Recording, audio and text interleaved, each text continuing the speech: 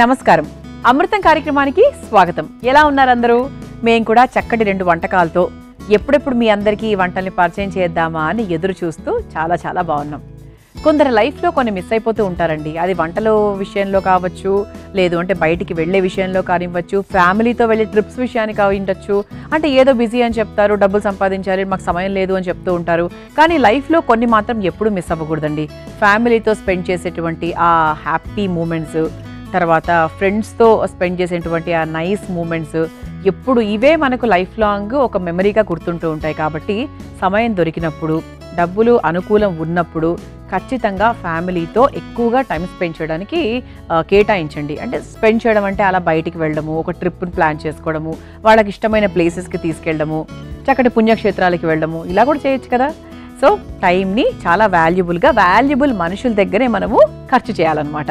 మరి ఈ రోజు కూడా మంచి వాల్యుబుల్ వంటలు నేర్చేసుకుందామండి. అమృతంలో ఎప్పుడూ కూడా వాల్యుబుల్ వంటలే ఉంటాయి. ఎందుకంటే రుచితో పాటు ఆరోగ్యాన్ని కూడా జోడించి చక్కటి సాత్వికమైన వంటలు మీ అందరికీ పరిచయం చేస్తూ ఉంటాం. అమృతంలో నేను తయారు చేయబోయే మొదటి వంట నిమ్మ సామల అన్నం. సామలు మీ అందరికీ తెలుసు. మనం సామలతో మన అమృతం కార్యక్రమంలో ఎన్నో వంటలు చేస్తూ ఉంటాం. నిమ్మ అంటే ఏంటి? నిమ్మకాయ నిమ్మరసం ఈ రెండిటి కాంబినేషన్లో నిమ్మ సామల అన్నం మనం తయారు చేసుకోబోతున్నాం. ముందుగా నిమ్మ సామల అన్నం తయారు చేసుకోవడానికి కావాల్సిన పదార్థాలు ఏంటో చూసేద్దాం. నిమ్మ సామల అన్నం తయారు చేసుకోవడానికి కావాల్సిన పదార్థాలు ఉడికించుకున్న సామలు ఒక కప్పు పచ్చిమిరపకాయలు నాలుగు కరివేపాకు కొద్దిగా పసుపు ఒక టేబుల్ స్పూన్ పల్లీలు ఒక కప్పు ఎండుమిరపకాయలు నాలుగు ఆవాలు అర టేబుల్ స్పూన్ మినప్పప్పు అర టేబుల్ స్పూన్ జీలకర్ర అర టేబుల్ స్పూన్ ఇంగువ ఒక టేబుల్ స్పూన్ కొత్తిమీర కొద్దిగా నిమ్మరసం నాలుగు టేబుల్ స్పూన్లు నూనె రెండు టేబుల్ స్పూన్లు ఉప్పు తగినంత. నిమ్మ సామల అన్నం తయారు చేసుకోవడానికి కావాల్సిన పదార్థాలన్నీ కూడా సిద్ధంగా ఉన్నాయి. దీనికోసం ముందుగా సామలు ఉడికించుకొని సిద్ధంగా పెట్టుకున్నాము. ఆ తర్వాత నిమ్మ చెక్కలు చక్కగా సగానికి కట్ చేసుకొని పెట్టుకున్నాం. అయితే నిమ్మకాయ నిమ్మకాయ అంటే అసలు ఉదయం లేచిన మొదలు రాత్రి పడుకునేదాకా నిమ్మకాయని ఎన్ని రకాలుగా ఉపయోగిస్తాము. హెయిర్కి సంబంధించి స్కిన్కి సంబంధించి బరువు తగ్గడానికి సంబంధించి ఒంట్లో ఫ్యాట్ తగ్గించుకోవడానికి సంబంధించి వెయిట్ రిడక్షన్కి సంబంధించి ఇలా ఎన్ని వాటికి మనం నిమ్మకాయ వాడతామండి? మనం నిత్యం వాడే ఎన్నో రకాల కాస్మెటిక్స్ సోపుల్లోనూ స్క్రీముల్లోనూ పిల్లలకు కూడా నిమ్మకాయ అనేటువంటి ఒక ప్రోడక్ట్ ఇంగ్రీడియంట్ లేకుండా ఖచ్చితంగా ఏ ప్రోడక్ట్ కూడా ఉండదు. మరి చెప్పాలి అంటే మనకి ఇందులో విటమిన్ సి అధికంగా ఉంటుంది కాబట్టి మన చర్మ సౌందర్యాన్ని చాలా బాగా కాపాడుకోవాలి అంటే నిమ్మకాయ అనేది చాలా చాలా ముఖ్యమైన పాత్ర పోషిస్తుంది. అలాగే ఉదయాన్నే పరగడుపునే నిమ్మకాయ నీళ్ళు కొంచెం తేనె వేసుకొని తాగితే పొట్ట అలాగే ఒంట్లో ఉండే ఫ్యాట్ కూడా తగ్గుతుంది తద్వారా బరువు కూడా తగ్గుతాం. ఇందులో చక్కగా విటమిన్ సీనే కాకుండా ఇంకా చాలా ఉంటాయి. మెగ్నీషియం ఎక్కువగా ఉంటుంది ఫాస్ఫరస్ ఎక్కువగా ఉంటుంది.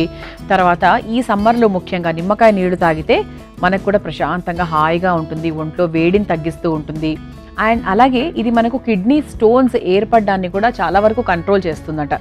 మరి అంటే ఎవరైనా కిడ్నీ స్టోన్తో ఇబ్బంది పడుతున్న వారు కొందరికి స్వతహాగా అది వెళ్ళిపోతాయి. ఎక్కువ నీళ్ళు తాగితే కూడా వెళ్ళిపోతాయి. ఏదో ఒకటి రెండు మందులు వాడితే అది పోతూ ఉంటాయి. కొందరికి మాత్రం అలా దీర్ఘకాలికంగా అలా ఉండిపోతూ ఉంటాయి. సర్జరీస్ వాటికి వెళ్ళాల్సి వస్తూ ఉంటుంది. సో అలాంటి వాళ్ళు ఏంటి అంటే నిమ్మకాయని తరచూ తీసుకోండి. ఎవరైనా కూడా అండి ఇటువంటి ఇబ్బందులు ఎదురవుతాయేమో అని ముందే అనిపిస్తే గనక నిమ్మరసం నిమ్మకాయ అనేది ఎక్కువగా వాడుతూ ఉంటే చాలా మంచిదనమాట అంతేకాకుండా ఈరోజు సామలు కూడా వాడుతున్నాం మనం. నిమ్మకాయతో పాటు సామలు కూడా కలిపి మనం ఈరోజు ఈ వంటను తయారు చేసుకుంటున్నాం కాబట్టి సామలు ఇక డయాబెటీస్ ఉన్న వాళ్ళకు సామలు అనేది ఒక వరం లాంటిది. ఇన్సులిన్ లెవెల్స్ బాగా తక్కువగా ఉంటాయి కాబట్టి చాలా బాగా ఉపయోగపడుతూ ఉంటుంది. అంతేకాకుండా గుండె ఆరోగ్యానికి కూడా సామలు చాలా మంచిది.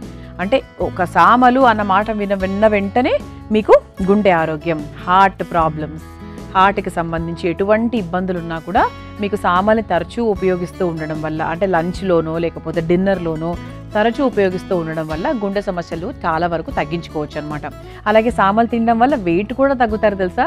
మరి ఇన్ని లాభాలు ఉన్నాయి. ఈరోజు మన వంటలో సామలు అలాగే నిమ్మకాయ నిమ్మరసము ఇన్ని లాభాలు ఉన్నాయి కాబట్టి చక్కగా ఈ వంటని మొదలు పెట్టేసుకుందాం. చాలా చాలా సులభంగా చేసుకోవచ్చు. దీనికోసం ముందుగా మనం ఏం చేయాలి అంటే సామల్ని ఉడికించుకొని పెట్టుకోవాలి. అంతే. అది ముందుగా మనం చేయాల్సిన పని. మిగతా అంతా చాలా ఫాస్ట్గా చేసేసుకోవచ్చు. స్టార్ట్ చేసేద్దాం. ముందుగా స్టవ్ వెలిగించేసుకుందాం. మనకు నిమ్మకాయ వల్ల బీపీ కూడా చాలా వరకు కంట్రోల్ అవుతుంది తెలుసా? బీపీ కంట్రోల్ అవుతుంది. తర్వాత అఫ్ కోర్స్ నిమ్మకాయలు అందరికీ తెలుసు. రోగ నిరోధక శక్తిని పెంపొందించుతుంది. ఎందుకంటే ఇందులో anti oxidants anti bacterial anti viral elements ఉంటాయి కాబట్టి మనకు త్వరగా ఏ రోగాలు రాకుండా మన శరీరాన్ని అలా కాపాడుతూ ఉంటుందన్నమాట. నిమ్మకాయ సిట్రస్ మాకు పడదు అని చాలామంది అంటూ ఉంటారు. రెండు మూడు సార్లు అలా ఉంటుందేమో. నాలుగోసారికి అలవాటు అయిపోతుంది ముందుగా కాస్త నూనె వేసుకుందాము.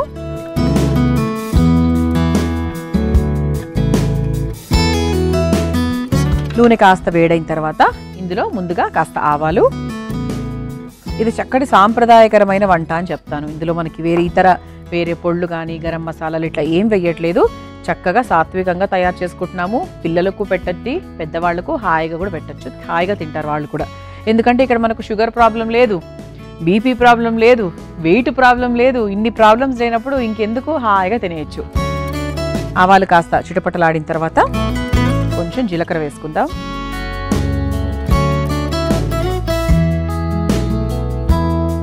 ఇది కొంచెం వేగిన తర్వాత మినప్పప్పు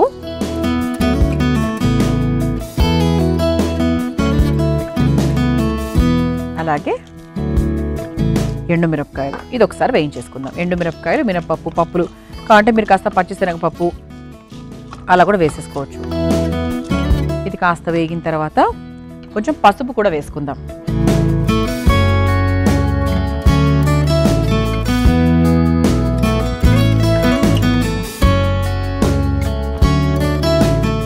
పసుపు కూడా వేయించేసుకున్నాము. ఆ తర్వాత పల్లీలు వేసుకుందాం.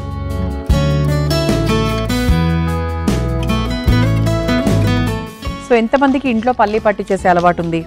లేని వాళ్ళు చక్కగా పల్లీ పట్టి అనేది మన ఇంట్లో నిత్యం ఎప్పుడూ ఉండాలండి. నా ఉద్దేశంలో అయితే. ఎందుకంటే అది మనకి పిల్లలకు టక్కన స్వీట్ తినాలనిపించిన మనకి ఏదైనా స్వీట్ తినాలనిపించి బయట ఏవో తెచ్చుకోకుండా ఇంట్లో ఉండే చాక్లెట్స్ అవి తినేయకుండా చక్కగా పల్లీ పట్టి ఒకటి తిన్నామంటే మనకు ఆ స్వీట్ తినాలి అన్నటువంటి ఆ ఆశ చచ్చిపోతుంది మంచిదే కదా?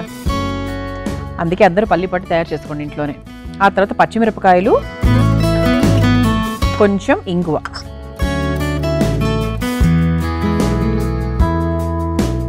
ఒకసారి వేయించేసుకుందాం.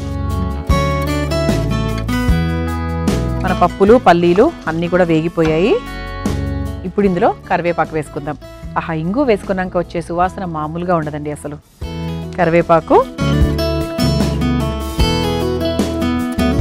ఇది మీరు ఇన్స్టెంట్గా అప్పటికప్పుడు అంటే మీరు సామాన్లు ఉడికిచ్చేసుకొని సామాన్లు ఎంతో సమయం పట్టదండి ఉడకడం. చాలా ఫాస్ట్గా అయిపోతుంది. అలా సామాన్లు రెడీ అయ్యాయో లేదో నిమ్మకాయలు తీయండి చక్కగా కట్ చేసేసుకోండి వేస్ట్ చేసేసుకోండి. ఈ వంట చాలా సులభం అండి. పది నిమిషాల్లో అయిపోతుంది. ఆ తర్వాత మనం ముందుగా ఉడికించుకొని పెట్టుకున్నటువంటి సామలు ఏవైతే ఉన్నాయో వాటిని మనం ఇందులో వేసేసుకోవాలి.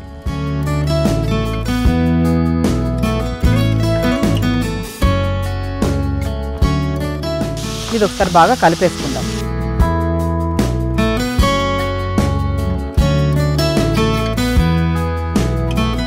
ఆ తర్వాత ఇందులో కాస్త ఉప్పు వేసేసుకుందాం.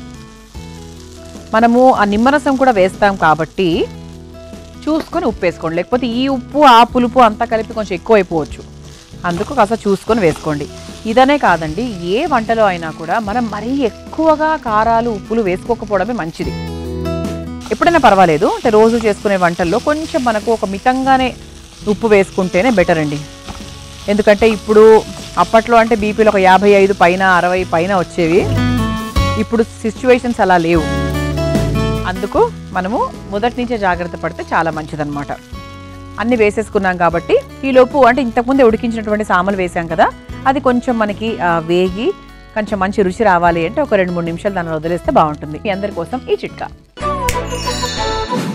గులాబీ మొక్కల మొదట్లలో టీ పొడిని లేదు అంటే ఉల్లిపాయ తొక్కను వేసినట్టయితే గులాబీ పూలు పూచిన తర్వాత చక్కటి వాసనని వెదజల్లుతాయి. ఈసారి ఈ చిట్కాని ప్రయత్నించండి. చూసారా? ఇలా చక్కగా మనకి ఆ సామల్లో ఉన్నటువంటి ఆ చిరు తేమ ఏదైతే ఉందో అది పోయి కొంచెం పొడి పొడిలాడుతుంది. చక్కగా. అంటే ఇంతకుముందు నేను వేసినప్పుడు కొంచెం ముద్దగా ఉండింది కొద్దిగా నీరు ఉండింది బట్ ఇప్పుడు అది కూడా లేదు. మనకు చక్కగా ఒక ఐదు నిమిషాల పాటు మగ్గిచ్చేసుకున్నాం కాబట్టి వాటర్ ఏదైతే ఉందో అది పోయింది. ఇప్పుడు మనం ఏం చేద్దామంటే ఇంతవరకు అసలు మనం నిమ్మ సామల అన్నం అన్నాం. నిమ్మకాయ ఎక్కడ? ఇప్పుడు వస్తుంది నిమ్మకాయ. మనం స్టవ్ కూడా ఆఫ్ చేసేసుకోవచ్చండి. ఎందుకంటే నిమ్మకాయ ఉపయోగించేటప్పుడు నిమ్మ రసాన్ని ఉపయోగించేటప్పుడు సాధ్యమైనంత వరకు ఆ వంటకం కొంచెం చల్లారిన తర్వాత ఉపయోగిస్తేనే మంచిది. ఎందుకంటే నిమ్మరసం కదా కొంచెం మనకు చేదుగా టర్న్ అవ్వకుండా. అన్నిట్లో ఏం అవ్వదు మళ్ళీ కొన్నిట్లోనే అవుతూ ఉంటుంది. ఇప్పుడు మనం చక్కగా ఈ నిమ్మరసాన్ని ఈ సామల్లోకి పిండేసుకుందాం.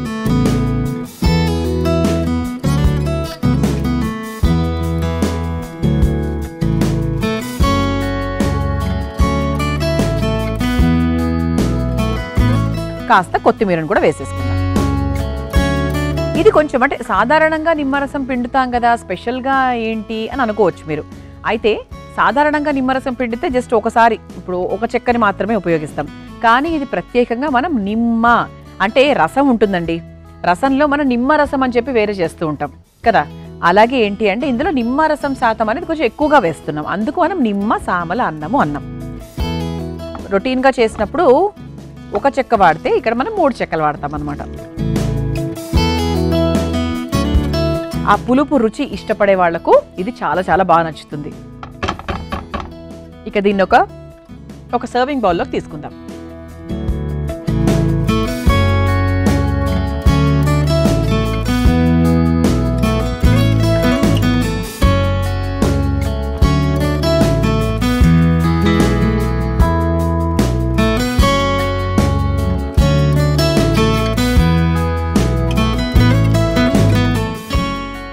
ఇలా చక్కగా అతి తక్కువ సమయంలో నిమ్మ సామల అన్నం పూర్తయిపోయింది. దీన్ని మీరు తయారు చేసుకోవాలనుకుంటే కావాల్సిన పదార్థాలు తయారు చేసుకునే విధానం మరొకసారి చూసేయండి. నిమ్మ సామల అన్నం తయారు చేసుకోవడానికి కావాల్సిన పదార్థాలు ఉడికించుకున్న సామలు ఒక కప్పు పచ్చిమిరపకాయలు నాలుగు కరివేపాకు కొద్దిగా పసుపు ఒక టేబుల్ స్పూన్ పల్లీలు ఒక కప్పు ఎండుమిరపకాయలు నాలుగు ఆవాలు అర టేబుల్ స్పూన్ మినప్పప్పు అర టేబుల్ స్పూన్ జీలకర్ర అర టేబుల్ స్పూన్ ఇంగువ ఒక టేబుల్ స్పూన్ కొత్తిమీర కొద్దిగా నిమ్మరసం నాలుగు టేబుల్ స్పూన్లు నూనె రెండు టేబుల్ స్పూన్లు ఉప్పు తగినంత. నిమ్మ సామల అన్నం తయారు చేసుకునే విధానం. ముందుగా స్టవ్ వెలిగించి ప్యాన్లో నూనె వేసి వేడైన తర్వాత అందులో ఆవాలు జీలకర్ర మినప్పప్పు ఎండుమిర్చి కాస్త పసుపు పల్లీలు పచ్చిమిర్చి కొంచెం ఇంగువ కరివేపాకు వేసి వేయించుకున్న తర్వాత అందులో ఉడికించుకున్న సామలు సరిపడా ఉప్పు కాస్త నిమ్మరసం చివరిగా కొత్తిమీరను వేసి బాగా కలిపి ఒక సర్వింగ్ బౌల్లోకి తీసుకుని సర్వ్ చేసుకుంటే నిమ్మ సామల అన్నం రెడీ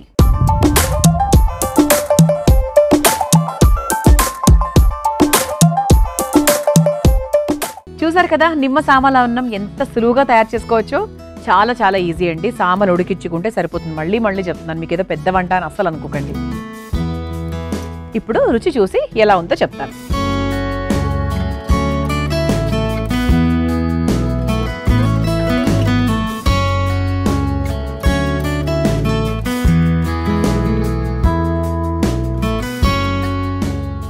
చాలా బాగుందండి. మీరు నిమ్మకాయ పులిహోర తింటారు ఇష్టపడతారు మనందరి ఫేవరెట్ కదా? నిమ్మకాయ పులిహోర సామలతో చేసుకుంటే ఎలా ఉంటుంది? ఆ రుచిలో ఉంది. చెప్తున్నా కదా చాలా సింపుల్. నిమ్మ సామల అన్నం అనేది ఒక రకంగా చెప్పాలంటే మనకు నిమ్మ నిమ్మకాయ అలాగే సామలతో చేసే పులిహోర అని చెప్పొచ్చు. చాలా చాలా బాగుందండి. ఇక అమృతంలో నేను తయారు చేయబోయే రెండో వంట దాల్ బంజారీ. దాల్ బంజారీ అంటే సాధారణంగా రాజస్థాన్ వైపు అంటే నార్త్ ఇండియా వైపు ఇది ఎక్కువగా చేసుకుంటూ ఉంటారనమాట అంటే మనకు కూడా వినడానికి చూసారా కొంచెం కొత్తగా ఉంది పేరు దాల్ బంజారీ. సరే నేర్చుకుందాం. ముందుగా దాల్ బంజారీ తయారు చేసుకోవడానికి కావాల్సిన పదార్థాలు ఏంటో చూద్దాం. దాల్ బంజారీ తయారు చేసుకోవడానికి కావాల్సిన పదార్థాలు నానబెట్టుకున్న పొట్టు మినప్పప్పు ఒక కప్పు నానబెట్టుకున్న పచ్చిశనగపప్పు ఒక కప్పు అల్లం తరుగు ఒక టేబుల్ స్పూన్ పచ్చిమిరపకాయలు నాలుగు టొమాటో ముక్కలు ఒక కప్పు బిర్యానీ ఆకు రెండు చెక్క కొద్దిగా పసుపు అర టేబుల్ స్పూన్ గరం మసాలా ఒక టేబుల్ స్పూన్ కొత్తిమీర కొద్దిగా జీలకర్ర ఒక టేబుల్ స్పూన్ ఎండుమిరపకాయలు నాలుగు ఉప్పు తగినంత నెయ్యి రెండు టేబుల్ స్పూన్లు నూనె రెండు టేబుల్ స్పూన్లు. దాల్ బంజారీ తయారు చేసుకోవడానికి కావాల్సిన పదార్థాలన్నీ కూడా సిద్ధంగా ఉన్నాయి. అయితే ఇంతకుముందు నేను చెప్పినట్టుగా రాజస్థాన్ వైపు అటువైపు నార్త్ వైపు మనకి ఇది ఎక్కువగా పిల్లలకు పెడుతూ ఉంటారు గర్భిణీ స్త్రీలకు ఎక్కువగా ఇస్తూ ఉంటారు. ఎందుకు అంటే ఇందులో పచ్చిశనగపప్పు అంటే నానబెట్టుకొని ముందుగానే సిద్ధంగా పెట్టుకున్నాను. ఆ తర్వాత పొట్టు మినపప్పు. పప్పు అంటే అన్ని ఆరోగ్యానికి చాలా మేలు చేసేవే ఉన్నాయన్నమాట. ముఖ్యంగా ఈ పచ్చిశనగపప్పు చాలామంది చాలా తక్కువ చూపు చూస్తూ ఉంటారు. అది గ్యాసు అది ఏముంది పోపుకు మాత్రమే పరిమితము అలా అనుకుంటూ ఉంటారు. కానీ పచ్చిశనగపప్పుతో చాలా రకాల అడ్వాంటేజెస్ ఉన్నాయండి. అంటే మన బోన్స్ స్ట్రాంగ్ అవ్వడానికి తర్వాత మన కను చూపును మెరుగుపరచడానికి అలాగే బ్లడ్ షుగర్ లెవెల్స్ని తగ్గించటానికి బరువును తగ్గించటానికి ఇది చాలా చాలా బాగా ఉపయోగపడుతుంది. అందుకే చూసారా అంటే మీకు నార్త్ ఇండియా వైపు వాళ్ళు ఎటువంటి వంటలు ఎక్కువగా తీసుకుంటూ ఉంటారంటే దాల్ కిచడి చేసుకుంటూ ఉంటారు. అంటే వీట్ మనకి గోధుమ రవ్వతో దాల్ కిచడి చేస్తూ ఉంటారు. పిల్లలకు కూడా డిన్నర్గా అదే పెడుతూ ఉంటారు. కానీ ఇక్కడ మనం ఏంటంటే సాధారణంగా గోధుమ రవ్వ ఇవన్నీ ఎక్కువ పెట్టము. అది బ్రేక్ఫాస్ట్ లాగా పెడతాం కానీ ఒక డిన్నర్ లాగా వాళ్ళకు ఒక భోజనం లాగా మనం పెట్టాం. మనకేంటంటే అన్నం అలవాటు కాబట్టి. కానీ అక్కడ ఏంటి అంటే ఎంతో కొంత కాస్త చూసుకుంటారు. న్యూట్రిషనల్ వాల్యూస్ అనేది చూసుకుంటారు. ఎందుకంటే ఈ పచ్చిశనగ పప్పులో కూడా మంచి ప్రోటీన్ ఉంటుంది. కాల్షియం ఉంటుంది మెగ్నీషియం ఉంటుంది ఐరన్ ఉంటుంది ఫాస్ఫరస్ ఉంటుంది. ఇలా ఇన్ని రకాల విటమిన్స్ అండ్ మినరల్స్ ఉంటాయన్నమాట దీంట్లో. మరి ఇంకెందుకు ఆలస్యం? ఇంత చక్కటి ఆరోగ్యకరమైన పదార్థాలతో ఈరోజు పొట్టు మినపప్పు అలాగే పచ్చిశనగపప్పుతో కలిపి మనము ఈ దాల్ బంజారీని తయారు చేసుకోబోతున్నాం. అయితే కుక్కర్ పెట్టుకున్నాను చూసారా? అయితే ముందుగా ఏం చేయాలంటే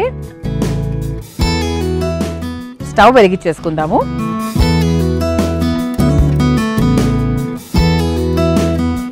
ముందుగా ఒక కప్పు పచ్చిశనగపప్పు నానబెట్టుకున్నదే అండి. ఇలా చక్కగా పచ్చిశనగపప్పును ఒక- రెండు గంటల పాటు నానబెట్టుకున్నాము. సో అలా నానబెట్టుకున్న పచ్చిశనగపప్పును ముందుగా కుక్కర్లో వేసేసుకోవాలి ఒక కప్పు.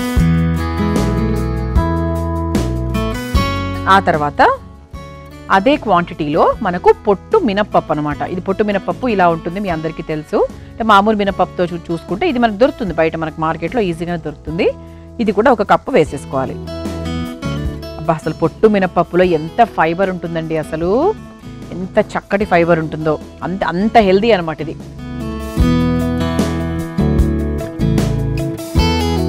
ఇది ఒకసారి కలిపేసుకుని ఇందులో నీళ్ళు పోసుకుందాం. అంటే ఇప్పుడు రెండు కప్పులు ఉన్నాయి పూర్తిగా ఇందులో. దీనికి తగ్గట్టుగా నీళ్ళు పోసుకోవాలి. నేను నేను ఎప్పుడు కూడా ఒక అందాజాలో వేసుకుంటాను. మీరు ఒకటికి ఒకటి వేసుకోండి సరిపోతుంది. బాగా మెత్తగానే ఉడకాలి. ఇది మనకు పొడి పొడిగా ఏమి ఉండదు మెత్తగానే ఉడకాలి.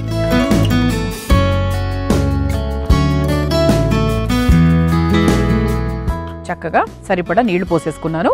ఇందులో మీకు కావాలంటే కొంచెం పసుపు ఉడికేటప్పుడే కాస్త పసుపు మనం ఎలాగైతే మన కందిపప్పుల్లో వాటిలలో వేసుకుంటామో అదేవిధంగా ఇందులో కాస్త పసుపు వేసేసుకుందాము. ఉప్పు వేయనక్కర్లేదండి ఎందుకంటే ఉప్పు వేస్తే అప్పుడప్పుడు సరిగ్గా ఉడకదు. అందరికీ తెలిసిన విషయమే అది అందుకు పసుపు మాత్రమే వేశాను ఎందుకంటే రంగు మనకి కరెక్ట్గా వస్తుంది కాబట్టి. ఇది జీర్ణశక్తికి కూడా చాలా బాగా పనిచేస్తుంది తెలుసా? అంటే మనకు డైజెషన్ అజీర్తి అజీర్తి లాంటి ఇబ్బందులు ఏమైనా ఉంటే కూడా మనకు పచ్చిశనగపప్పుతో అలాగే ఈ వంట చాలా బాగా హెల్ప్ చేస్తూ ఉంటుంది. అలాగే క్యాన్సర్ని కూడా ఆ రిస్క్ క్యాన్సర్ రిస్క్ని కూడా తగ్గించే విషయంలో పచ్చిశనగపప్పు శరీరానికి చాలా మంచి మేలు చేస్తూ ఉంటుంది. మరి ఇందులో మనము పొట్టు మినప్పప్పు అలాగే నానబెట్టినటువంటి పచ్చి శనగపప్పు వేసేసుకున్నాము నీళ్ళు పోసేసుకున్నాము. ఇప్పుడు మూత పెట్టేద్దాం. ఇలా చక్కగా మనము నీళ్ళు పోసేసుకొని మూత పెట్టేసాం కదా. ఒక ఐదు నుంచి ఎనిమిది నిమిషాలండి. ఇక అందరికీ తెలిసిందే ఒక మూడు విజిల్స్ రావాలంటే ఒక ఎయిట్ మినిట్స్ టైం పడుతుంది. అది ఉడికిన తర్వాత అప్పుడు దీనికి సంబంధించి ఏం పోపు వేస్తున్నామో ఎలా చేస్తామో చూద్దాం. ఈలోపు వెయిట్ చేద్దాం. చూసారండి ఐదు నిమిషాలు అయిపోయింది. చక్కగా ఒక ఐదు ఐదు ఆరు విజిల్స్ వరకు వచ్చాయి. ఆఫ్ చేసేసాను. ఇప్పుడే ఆఫ్ చేశాను. ఇది మనకి ప్రెషర్ అంతా పోవాలి కాబట్టి ఖచ్చితంగా ఇంకో ఫైవ్ మినిట్స్ టైం పడుతుంది. ఈలోపు మనం ఏం చేద్దామంటే పోపు సిద్ధం చేసుకుందాం. ఈ బాండి ఇటువైపు పెట్టేసుకొని స్టవ్ వెలిగించేసుకుందాం. ముందుగా పోపు కావాల్సినవి ఏంటి నూనె. ముందుగా కాస్త నూనె వేసేసుకుందాం. మరి దాల్ బంజారీ తయారు చేసుకోవడానికి మనం చక్కగా పొట్టుమినపప్పు పచ్చిశనగపప్పు ఉడికిచ్చేసుకున్నాము. అది ప్రెషర్ వచ్చేలోపు ఇటువైపు పోపు వేసుకుంటున్నాం చాలా సింపుల్. ముందుగా సాధారణంగా ఇటు నార్త్ ఇండియన్ వైపు అంటే రాజస్థాన్ మహారాష్ట్ర వైపు ఎక్కువగా ఆవాలు అనేవి వాడడంగా నేను చూడలేదు. అంటే వాళ్ళ దాల్లో కానివ్వండి దేంట్లో అయినా కూరల్లో అది ఎక్కువ జీలకర్ర వాడుతూ ఉంటారు సోంపు వాడుతూ ఉంటారు ఇలాంటివి ఎక్కువగా వాడుతూ ఉంటారు. కానీ ఆవాలు కొంచెం తక్కువే కదా. అందుకు మనం కూడా ప్రస్తుతానికి ఈ వంటలో మాత్రం వాడట్లేదు. జీలకర్ర చెక్క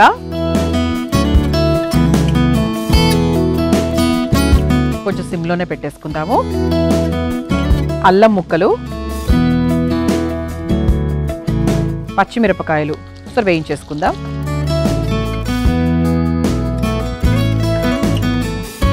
ఆ తర్వాత ఎండుమిరపకాయలు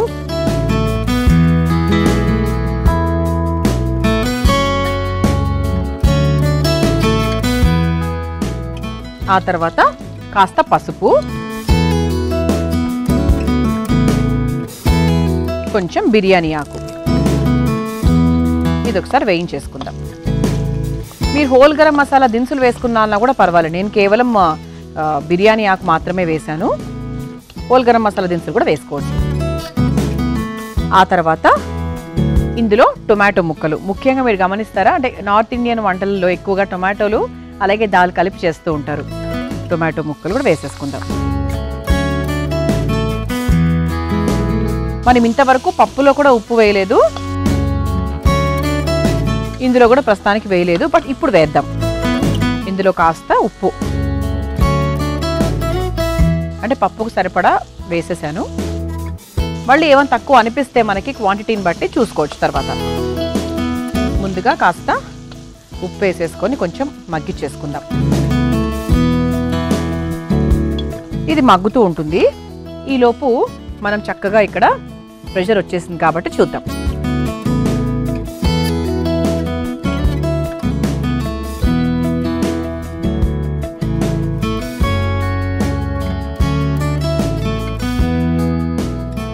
చక్కగా అయిపోయిందండి పప్పు. ఇది ఒకసారి ఇట్లా కలిపేసుకుందాం. ఇక్కడ మనకు నీళ్ళు కూడా ఎక్కువనే పోసాం కాబట్టి చక్కగా మ్యాష్ అయిపోయింది. అంటే మరి మ్యాష్ అంటే మరీ ఇలా పేస్ట్ కాదు. చక్కగా ఉడికిపోయింది. ఇది ఒకసారి ఇక్కడే కలిపేసుకుందాం ఇలా. మీరు కావాలంటే కాస్త మ్యాషర్ యూస్ చేసుకొని ఇలా మ్యాష్ కూడా చేసుకోవచ్చు.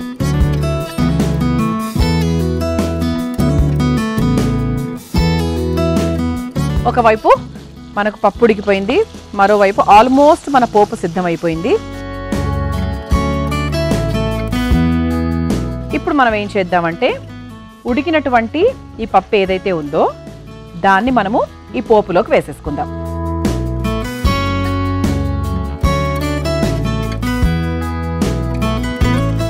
చక్కగా పసుపు కూడా వేసి ఉడికించుకున్నాం కాబట్టి రంగు కూడా భలే ఉంది. దీన్ని మనం చక్కగా ఉడికిచ్చేసుకోవాలి ఎక్కువ సమయం కూడా పట్టదు. ఎందుకంటే ఇది ఆల్రెడీ ఉడికిపోయింది కాబట్టి జస్ట్ మనకి ఏంటంటే మనం వేసిన పోపు పప్పు రెండు కూడా ఫ్రెండ్స్ అవ్వాలంతే. అంతకన్నా ఏం లేదు. చివరిగా కొంచెం గరం మసాలా పొడి కూడా ఇందులో వేసుకోవచ్చు. ఇష్టం లేని వాళ్ళు వదిలేయచ్చు కూడా. గరం మసాలా పొడి వేసిన తర్వాత సాధ్యమైనంత వరకు ఒక ఐదు నిమిషాల్లో దింపేయడానికి ప్రయత్నించాలి మనము.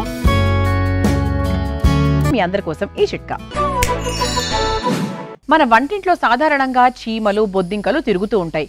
అలాంటప్పుడు ఏం చేయాలి అంటే నిమ్మరసాన్ని అక్కడక్కడ ముఖ్యంగా మూలల్లో చల్లినట్టయితే అవి రాకుండా ఉంటాయి. ఈసారి ఈ చిట్కాని ప్రయత్నించండి.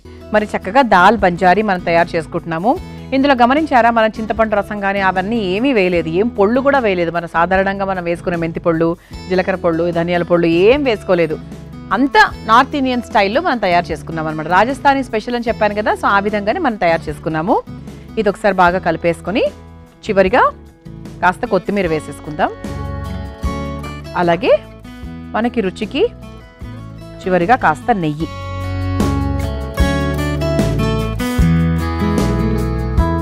పప్పులో ఇంకా నెయ్యి వేసుకుంటే దాని రుచి మామూలుగా ఉండదు కాబట్టి ఒక మంచి కమ్మదనం వస్తుంది కాబట్టి వేసేసుకున్నాను. ఆఫ్ చేసేస్తున్నానండి స్టవ్. ఇది అయిపోయింది కదా ఇప్పుడు దీన్ని ఒక సర్వింగ్ బౌల్లోకి తీసేసుకుందాం.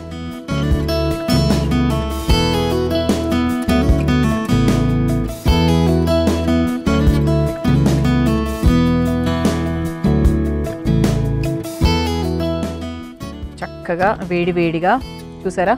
అంటే ఎంత ఆరోగ్యంగా అనిపిస్తుంది ఇందులో నాకు. అంటే ఈ మినప్పప్పు చూస్తేనే మనకు అర్థమైపోతుంది. మంచి పచ్చిశనగపప్పు అలాగే పొట్టు మినప్పప్పు. మంచి ఫైబర్ మంచి కాల్షియం. అసలు ఇంకా ఆలోచించకుండా ఈరోజే ఈ కొత్త రకపు పప్పును మీరు మీ ఇంట్లో కూడా ప్రయత్నించండి. మరి దాల్ బంజారీ తయారు చేసుకోవడానికి కావాల్సిన పదార్థాలు తయారు చేసుకునే విధానం మరొకసారి చూసేయండి. దాల్ బంజారీ తయారు చేసుకోవడానికి కావాల్సిన పదార్థాలు నానబెట్టుకున్న పొట్టు మినప్పప్పు ఒక కప్పు నానబెట్టుకున్న పచ్చిశనగపప్పు ఒక కప్పు అల్లం తరుగు ఒక టేబుల్ స్పూన్ పచ్చిమిరపకాయలు నాలుగు టొమాటో ముక్కలు ఒక కప్పు బిర్యానీ ఆకు రెండు చెక్క కొద్దిగా పసుపు అర టేబుల్ స్పూన్ గరం మసాలా ఒక టేబుల్ స్పూన్ కొత్తిమీర కొద్దిగా జీలకర్ర ఒక టేబుల్ స్పూన్ ఎండుమిరపకాయలు నాలుగు ఉప్పు తగినంత నెయ్యి రెండు టేబుల్ స్పూన్లు నూనె రెండు టేబుల్ స్పూన్లు. దాల్ బంజారీ తయారు చేసుకునే విధానం. ముందుగా స్టవ్ వెలిగించి కుక్కర్లో నానబెట్టుకున్న శనగపప్పు నానబెట్టుకున్న పొట్టు మినప్పప్పు వేసి కొంచెం నీళ్ళు పోసి కాస్త పసుపేసి మూత పెట్టి ఆవిరి మీద ఉడికించుకోవాలి. ఇప్పుడు మరో స్టవ్ వెలిగించి ప్యాన్లో నూనె వేసి వేడైన తర్వాత అందులో జీలకర్ర దాల్చిన చెక్క అల్లం ముక్కలు పచ్చిమిరపకాయలు ఎండుమిరపకాయలు పసుపు బిర్యానీ ఆకు టొమాటో ముక్కలు వేసి సరిపడా ఉప్పు వేసి వేయించుకోవాలి. ఇప్పుడు ఉడికించి మెదుపుకున్న పప్పు మిశ్రమాన్ని వేసి కాస్త గరం మసాలా కూడా వేసి బాగా కలిపి కొద్దిసేపు మగ్గించుకొని చివరిగా కొత్తిమీర కాస్త నెయ్యి వేసి కలిపి ఒక సర్వింగ్ బౌల్లోకి తీసుకొని సర్వ్ చేసుకుంటే దాల్ బంజారీ రెడీ.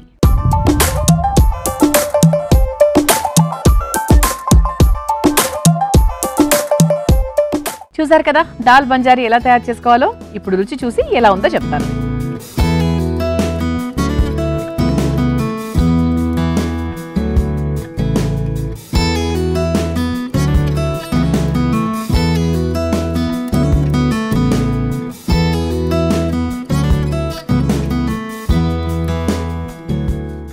బాగుంది.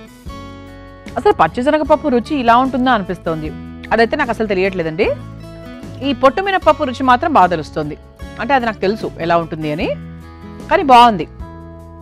కమ్మగా ఉంది. అంటే మరి నెయ్యి వేసినందుకో మరి నేను పచ్చిమిరపకాయలు అదే కొంచెం తక్కువ వేసానో తెలియదు కానీ చాలా సాత్వికంగా ఉంది ఒక రకంగా చెప్పాలంటే. ఎక్కువ ఓవర్గా అట్లేం లేదు. మనం వేసిన ఆ బిర్యానీ ఆకు రుచి కొంచెం ఆ ఆ మసాలా ఘాటు తెలుస్తుంది. గరం మసాలా కూడా వేసాం కదా.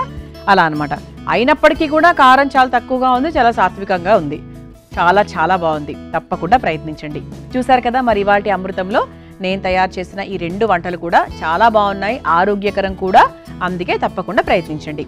మరి రేపటి అమృతం కార్యక్రమంలో ఇటువంటి రెండు చక్కటి వంటకాలతో మళ్ళీ కలుసుకుందాం. అంతవరకు సెలవు నమస్కారం. ఈ కార్యక్రమాన్ని తిరిగి చూడాలనుకుంటే డబ్ల్యూడబ్ల్యూడబ్ల్యూ dot YouTube dot com slash at the rate ETV life స్పిరిచువల్లో చూడవచ్చు.